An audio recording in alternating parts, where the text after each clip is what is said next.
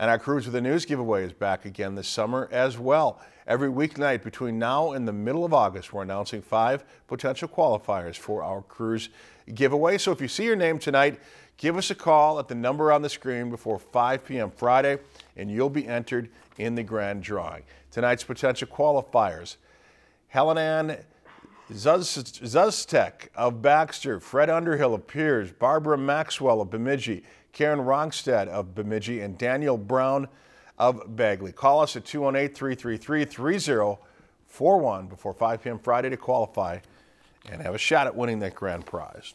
If you've enjoyed this segment of Lakeland News, please consider making a tax-deductible contribution to Lakeland Public Television.